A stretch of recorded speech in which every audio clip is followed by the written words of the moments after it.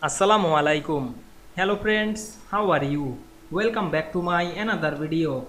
In this video, I am going to show you how to set 1 inch page margin in Microsoft Publisher document. Let's get started. Firstly, we have to open a Publisher document. Now we want to set the 1 inch page margin, go to the page design menu. Then select the margin option, then go to the custom margin.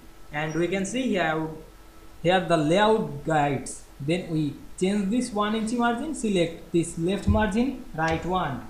Then go to the all side and right one.